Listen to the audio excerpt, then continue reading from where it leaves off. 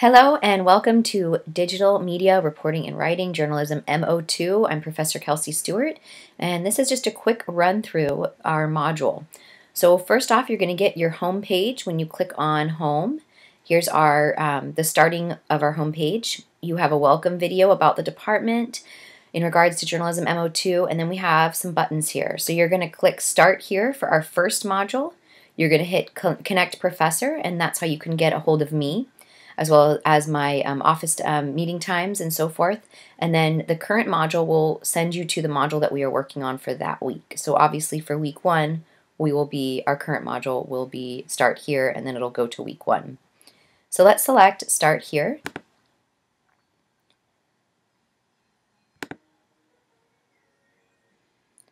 So here we have start here module. We're going to go to the first tab which is Journalism M02 welcome video. This is another welcome video just introducing you to the course, um, as well as giving the course description. We have the video transcript below for those that need it. We also have uh, the course modules, objectives, and student learning outcomes attached. So these are all hyperlinked to the actual um, module that we're working on. So if you uh, connect this, it'll give you uh, to week one, module one. Uh, the format of the of these modules are up for um, transition just depending on current events and what type of coverage we're looking at. So right now we have up till week um, module one is attached to week one, module two is attached to week two, and so forth. So this will go down.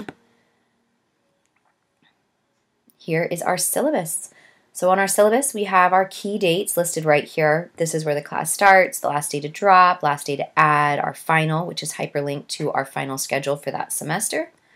We also have our division office contact, so you can reach uh, the student business office uh, for the um, uh, Arts, Media, and Communication Studies division, as well as Canvas student support, uh, the dean and department chair, emails and numbers. We have a short description again about the course, we have a list of our uh, textbooks that we will be using throughout the course, as well as our course goals. Now here we have our course format. Our course format is important to remember. There's really only two, two items to remember. One, everything is due Sundays at midnight. That does not change. I do not accept late work unless there's extenuating circumstances. Uh, we also meet once a week on Wednesday mornings from uh, for this class we meet 10:45 to 11:15. Those are 30 minute virtual class discussion meetings. I understand a lot of you will not be able to make those due to work or schedules or other courses and we I talk about that where you have an option to write a one page summary for those of you that cannot make the Wednesday meeting morning meeting. So they will be recorded and you write a one page summary that you post in our weekly class discussion. Uh, we have a selection of topics that we will go through.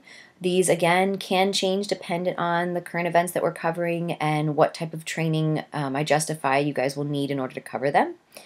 We also have our class procedures, just that you have to be up to date. Um, you need to be in tune kind of with the structure of the course in order to be able to make the field assignments and so forth. We have the equipment. You will need a smartphone or laptop. Again, I do not accept late work. Here is the instructor feedback. Each assignment offers a grading rubric that is located on the bottom of the assignment that will list what is expected in order to receive full credit. The instructor feedback can be found on all assignments in the attached text box. I will be um, offering insight or um, so certain grading um, options in regards to your main projects. Oftentimes, I will give um, just a varied amount of feedback in regards to just weekly assignments. A lot of times too, I will address it in our on our weekly class meetings if there was a lot of mistakes on one um, that everyone had in common, or if there were struggles on some sort, I will address those in those weekly meetings as well. Uh, we have our grading here and our class etiquette. Uh, we also talk about false attribution, which we definitely don't want to do. Um, we have the smoking policy, which we are a non-smoking campus.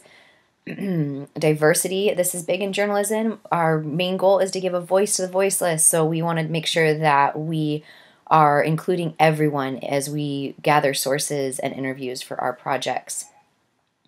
Students with disabilities who need accommodations, um, we are encouraged to contact me as well as access. I want to make sure that this course is accessible for everybody. Title IX and sexual misconduct. That is actually the dean, that is the department dean of this division. That's Monica Garcia, and so you can reach her through her email.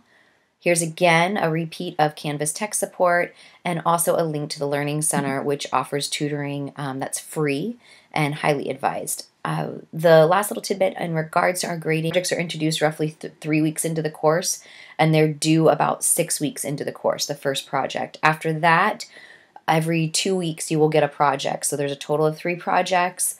Week uh, six, you will uh, turn in your first project. Week eight and week 12, depending on the length of the course, roughly, is when you will turn in the next projects. Again, those will be given to you. You'll have ample time um, to get those projects in.